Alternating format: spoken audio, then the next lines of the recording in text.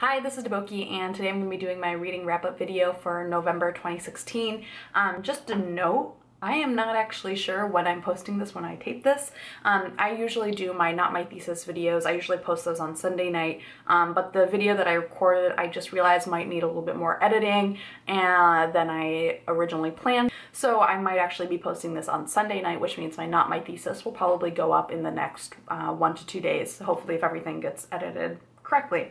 I'm still kind of figuring out how I want to do these wrap-ups because one of my goals is to start reviewing every book I read and I've gotten better about that. There are a few books that I'm going to talk about today that I haven't reviewed yet and I'm not quite sure if those reviews will happen but not because I don't want to review them I just kind of got backlogged and didn't get to writing or to doing the review for them and now I don't have the books with me because I checked them out from the library and so it's just a whole thing. Because I'm planning to do reviews for most of what I read probably at least my goal is to get reviews up for 90% of what I read.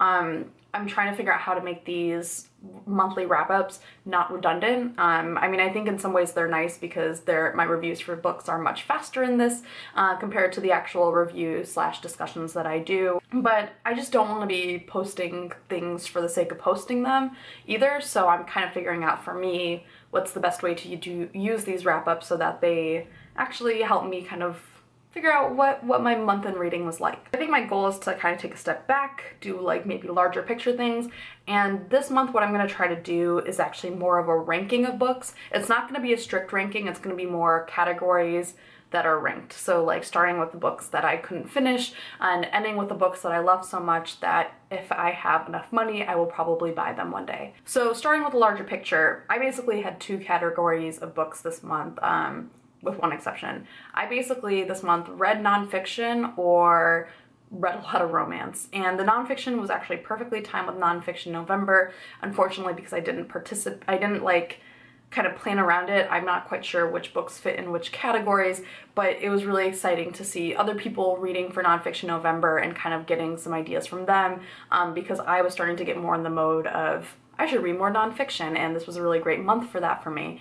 And then the election happened and my desire to read or listen to nonfiction got a little bit reduced and I kind of sought solace in a lot of romance. So I've already put together one big huge video on a lot of the romance novels that I read this month. Um, there are some additional ones that I'm going to talk about today and I will do another kind of follow-up more lengthy romance reading discussion according to my Fitbit, I just walked 10,000 steps. I just like move my hands a lot and so Fitbit is like, whoa, you're so active. And it's really like, no, I just move my hands a lot. So for these this kind of ranking that I'm gonna attempt to do today, um, I'm gonna have four different categories. First is DNF, the books, book, whatever, that I just couldn't finish. Second is gonna be the books that I'm like meh on. They're not bad, they just maybe weren't like that great either to me.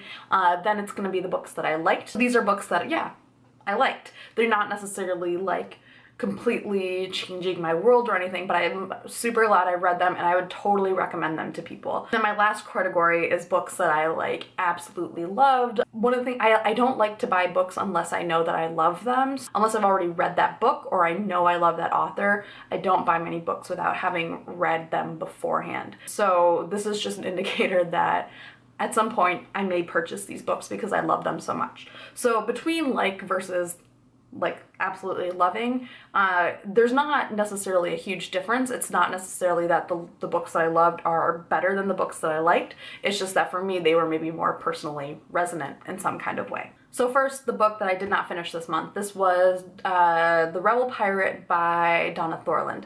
And this is the sequel to The Turncoat, which I posted a review of, and I actually really enjoyed The Turncoat. Um, these are historical fiction books set during the American Revolution, and I was really excited for The Rebel Pirate because pirates, especially lady pirates, but I just found, I realized really quickly that this was gonna be one of those cases where Donna Thorland kind of reiterates the same romantic structure in her, like, between her main characters, and I, that was actually one of the things I didn't like about the Turncoat. I love everything else. Like she builds up really good settings. She bring, builds up really interesting facets of the American Revolution that you might not know about. In this case, again, pirates. But I just didn't really feel like sticking around for two characters who are super insta-lovey. I just didn't really feel like dealing with it. So I I never finished it. Uh, second is books I met on. Um, so these are gonna all be romances. So the first is Private Arrangements by Sherry Thomas, and this is a Victorian set romance and I was really excited about this book because it's a mending broken relationship story. Discovering that this is a type of, this is a trope of romance that I am kind of excited about. And basically is a couple who um, immediately after their wedding moved to uh, started living on separate continents and you find out through flashbacks that there were some events that happened that maybe made the bride come off as less is a little bit manipulative to make the wedding happen. I, I really liked the characters, but the story itself and the dynamic between them just wasn't that exciting. I kind of just sped through it to see that they end up together and that was kind of it. Next in this category is the Cyclone series by Courtney Milan. Um, these I read Trade Me and Find Me. These are set uh, around a tech company and I thought both were cool because they had different interesting characters who were uh, facing a lot of challenges you don't find necessarily um, in a lot of books. Um, there's a trans character in Find Me, a hero with an eating disorder. Like, it's a lot of different types of characters that you don't necessarily encounter and I like the way that Courtney Milan handled them.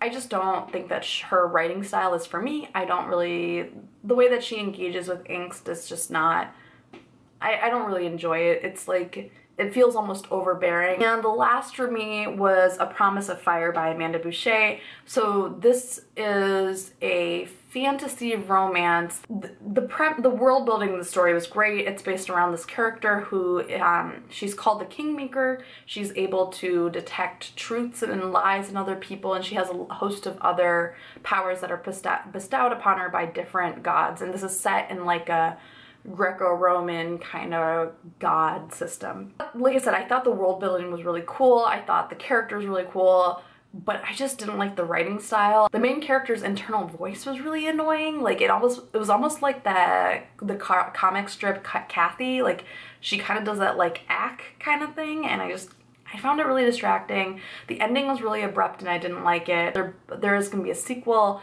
I think it's the kind of sequel that I'll read if I don't have anything else that I want to read and it's like on sale for 99 cents. So next up, books I liked. So again, the fact that they're not in my topmost character category does not necessarily mean that they are bad books. They're actually all great books and I highly, I would definitely recommend them to people. So first is Forbidden by Beverly Jenkins. Beverly Jenkins is a romance writer who I have not read until Forbidden and I have been meaning to because she writes a lot of romances with black characters, which is again, not necessarily a super common theme kind of in mainstream romance. And she writes a lot of historicals, which I've been getting increasingly into. Uh, Forbidden is set in the West. So a young woman named Eddie, she is going west and is robbed along the way and gets stuck in this, and gets stuck, stuck in this mining town. And she meets Ryan Fontaine, um, who is what she thinks is a white man who's super rich. Ryan is actually a black man who is passing for white and it's a really fascinating book for their for this setup. Um, I, I haven't really like read any romances like that. I did find it to be kind of understated as far as romances go. It's a story where most people are acting like mature adults and are not being silly and there's also not any, not many external hijinks that ensue because the main thing is so serious. And so it was a great read but for me it was a little bit like, like I said, understated as far as probably what I am looking for in romance. The next is The Mating Game by Sally Thorne, and this is really great contemporary romance where basically two people who work together, who hate each other, find out that they're actually kind of in love with each other. I thought this was a lot of fun. It's set in a publishing house. The main character kind of has some like, I don't know, she kind of has that like irritating like working woman who doesn't have her shit together sort of quality to her, but the characters were all still super amazing. I really loved the book. I really loved the humor. I thought it was a really great fun read. Uh, then was Lord of Scoundrels by Loretta Chase, which I think is probably a classic of the Regency romance genre. It was one of those stories where two people end up married together because the woman caught in potentially compromising scenarios with the man. It's a lot of fun. I was not expecting the humor with it. I thought the main characters uh, were both really funny. I really liked how it engaged with different parts of the story like uh, the hero's bastard son, um, which was not something I expected a romance to do.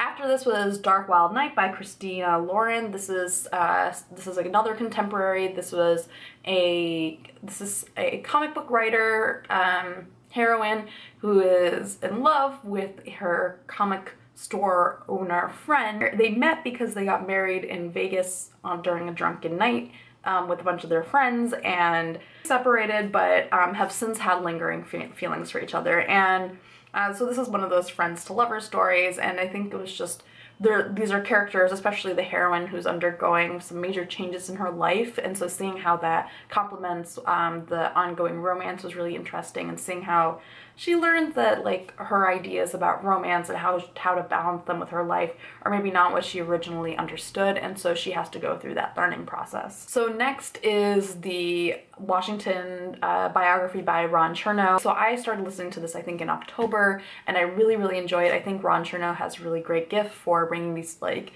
kind of you know flat like myths to life like we think of George Washington as the founding father. For me, that's kind of been all he is. And I felt I really felt like his biography brought up a lot of the different aspects of the his personality that were challenging and also perfect for becoming the first president of this country. I think I've been doing so much reading with related to the American uh, Revolution, both nonfiction and fiction, and I feel like through both forms, I've gotten so much more engagement with what it took to bring this revolution to to fruition and to also bring this country to fruition. And I, I feel much more engaged with our country's history in a way. I feel more connected to it. And last for this category of books that I liked, um, this is I Remember You by Yrsa Sigurdardóttir. So this is an Icelandic crime slash horror novel that I will hopefully do a review for. Um, but I've talked about this in quite a few videos. I really enjoyed this. This was super terrifying. I would read this like on the T and I would be okay because it would be like daylight out. And then I would like get home and just read it like right there and then I would have to turn on all the lights in my apartment to be able to go to sleep, which is not great for my electricity bill, but it's super great for entertainment.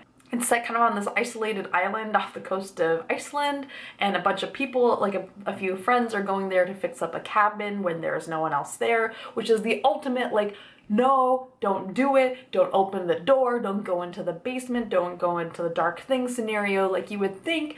Don't go to the isolated island off the coast of Iceland when it's cold, when there's no one else around. Like, that seems like common sense, but they all go there and then shit happens. And there's also this simultaneously weaving story that's more of a crime story where this doctor in a nearby town is, is helping with the investigation of a woman who committed suicide who turns out is actually kind of obsessed with the disappearance of his son.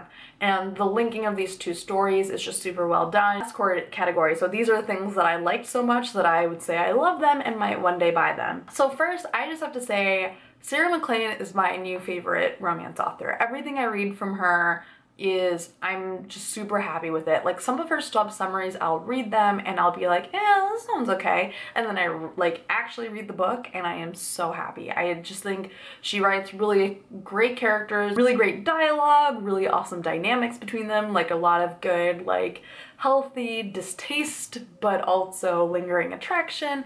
I just really, really like her writing. So the books of hers that I read this past month, um, I read two of her books in her Scandal and Scoundrel series. So these are The Rogue Not Taken and A Scot in the Dark. Um, I'm not going to get too much in the summaries. Basically, the premise of the series are women who are going through scandals and then the guys who are scoundrels who they kind of run into. And I really love both of these. They're so much fun. I am super, super impatiently waiting for the next book, which is not going to come out until June. Um, but this is a Mending Broken Relationships book and it features some of the characters who have appeared and have um, I'm just so excited. Next up is another author who is kind of new to me for romance, and this is Joanna Shupe. So I read two series of hers. One is Wicked Deceptions. I think the premise of this series can be boiled down to these are relationships that are kind of initially built on some form of lie, um, but that are made to become healthy. I really enjoyed all the books in this series. I thought the characters, again, all super well done. I also read her uh, Knickerbocker series, which is set during the Gilded Age. So I've read Magnate and Baron. I haven't read Tycoon yet, which is a novella, um, but I will read that soon. Um, and she has another book coming out in January, which I'm super excited for, um, which is also, I think, supposed to be a mending broken relationship one. So 2017 is going to be a jackpot year for me for this new trope that I'm apparently super fond of. But yeah, I really like her Knickerbocker series. That time period is not one that I've read a lot of stories set during. The next two are books that I have not reviewed yet or covered um, their authors in any way. Um, so first is We Were Feminists Once by Andi Zeisler, and hopefully I will have a review for this because I really, really enjoyed it.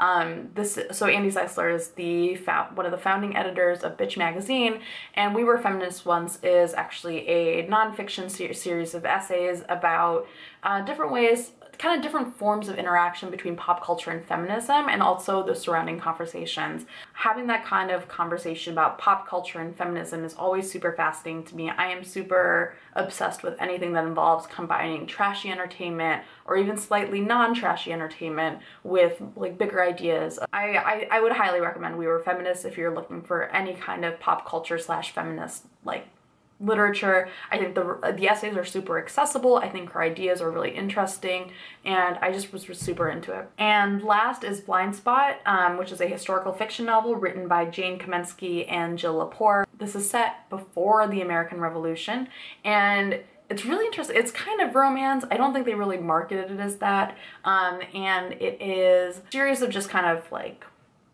newspaper clippings that cover different things that are going on, but the main story is driven by two different characters, the two main characters. So one is um, Samuel Jameson, who is a painter who is he's trying to evade some debts and ends up in Boston, and then the other is uh, narrator is Fanny Easton, a disgraced woman from kind of an upper class Boston family who has disguised herself as a boy um, and is trying to become Samuel Jameson's painter apprentice. Their voices are super well done. I really, really love this book. I, I though I, I do have to issue some caveats and I'll get more into this in my review, um, but I do feel like the first two thirds of this book was really, really, really, really good.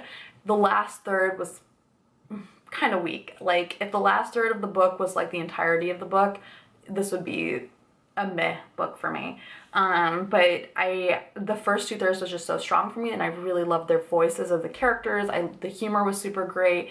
That in the world that they built out, this like pre-American Revolution America is just so well done that I I, I would totally want to buy this book in the future. Let me know what you think of the books I talked about, what you think of this format, if you have other suggestions for this conundrum of reviews versus monthly wrap up. I kind of like this. This was kind of fun. Um, and yeah, bye.